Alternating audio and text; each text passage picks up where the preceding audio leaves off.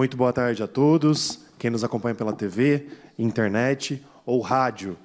Quero também cumprimentar todos aqui no nosso plenário, na nossa sessão de hoje. E eu quero falar hoje sobre a cartilha de orientação política de 2022 da CNBB, que é a Conferência Nacional dos Bispos do Brasil. Eu preparei um textinho para falar sobre ela, o quanto ela é importante para cada um de nós. Então, hoje, como eu falei aqui, quero falar sobre a cartilha de orientação política feita pela Conferência Nacional dos Bispos da segunda região da CNBB, que é essa aqui.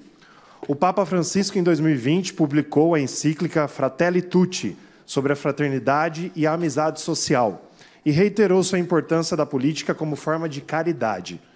A Igreja Católica está na política para fazer o papel do bom samaritano, atendendo generosamente a todos os homens e mulheres deixados quase mortos na beira das estradas.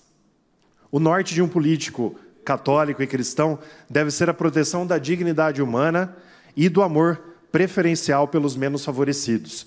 Assim, a igreja nos convida a escolher candidatos que tenham compromisso com a vida e com os pobres e fragilizados.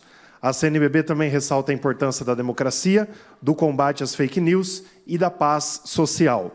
Todos estão convidados a ler este documento aqui, para que escolham o voto com a certeza de estar em consonância com os ensinamentos da Igreja e do nosso Cristo.